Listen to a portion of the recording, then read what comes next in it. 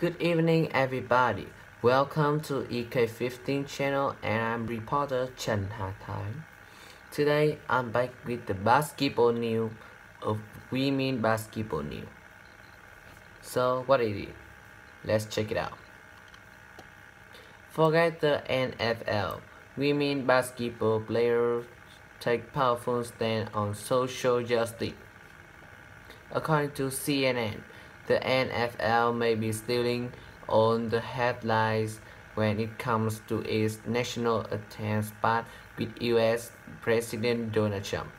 But women's professional basketball has been consistently taking an even greater stand on its biggest stage. For the first four games of the WNBA Finals Series against the Minnesota Lynx. The entire Los Angeles Sparks team has remained in the locker room, even staging a collective workout before game one to a clatter of boos.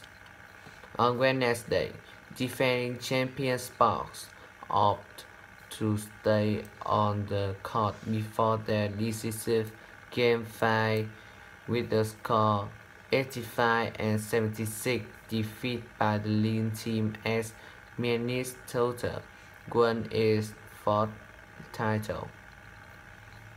Their efforts are sometimes overshadowed by the men, but I think it's important that we recognize and credit them.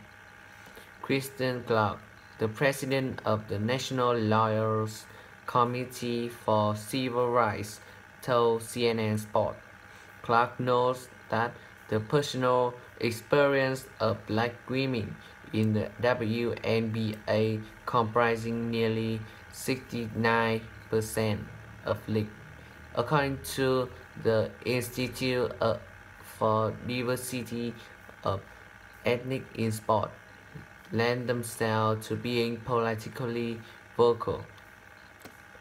The, eh, the WNBA has a fair number of African American women who understand what it means to be discriminated on the basis of their race and gender, so they lie on the intersection of a lot of problems that have beleaguered our country, she says.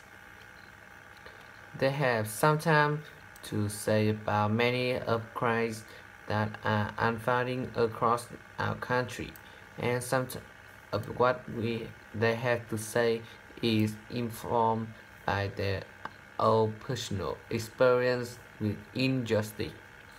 So, it's all thing I would like to tell you today about WNBA. Thank you for listening and don't forget to subscribe and give me a comment under this video. Thank you for listening. Bye bye.